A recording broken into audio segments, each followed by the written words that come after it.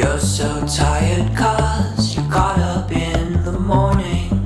And you're not a morning person but You understand the virtues of